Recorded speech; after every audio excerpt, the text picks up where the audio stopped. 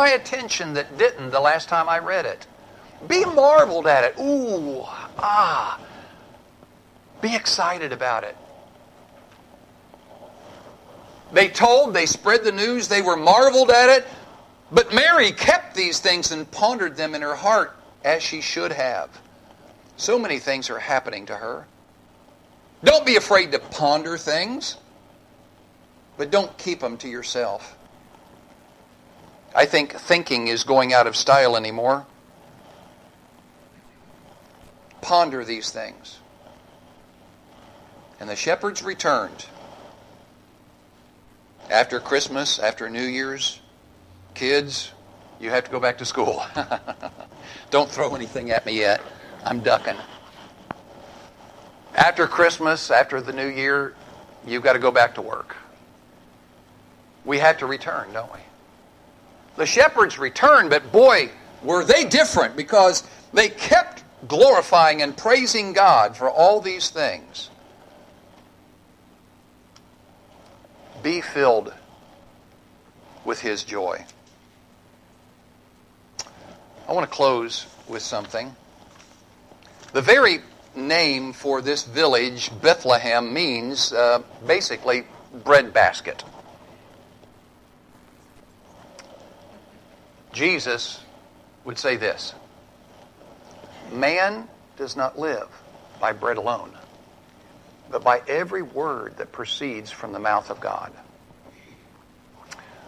Don't try to live on what this world offers because it will fall short live based on what God says. Jesus would say one day, I am the bread of life. Partake of me. Let that be your highest priority. oh, here's another one for us.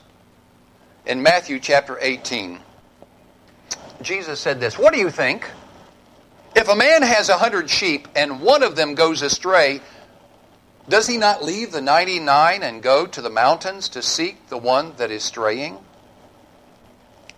Jesus said he came to seek and to save that which is lost.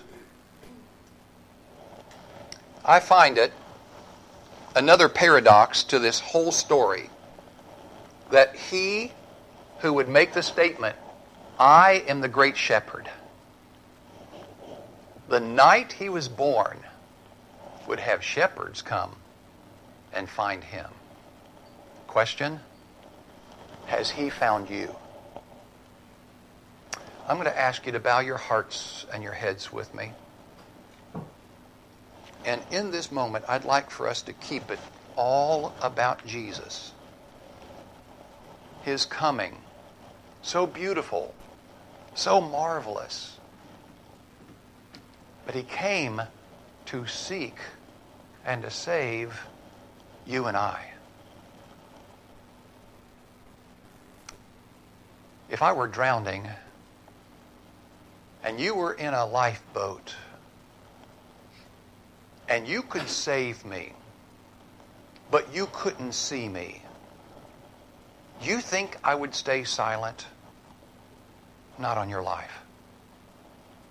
I would yell and I would scream and I would wave my arms at you until you saw me. Jesus came to save you. You have to reach out and get him also. If you've not done that, my friend, there's a Christmas gift waiting for you yet to be unwrapped. And you haven't reached out and got it yet. Make sure because as much as He is Christ and He is Savior, you have to let Him be your Lord.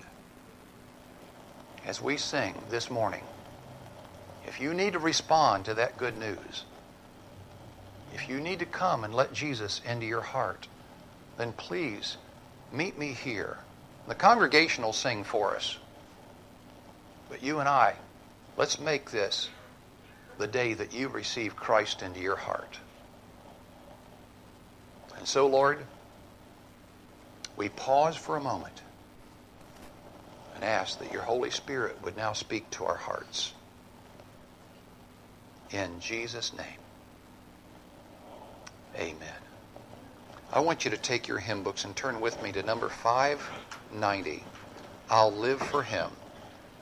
Will you stand with me as we sing? And as we do sing, are you living for him? Is he in your heart?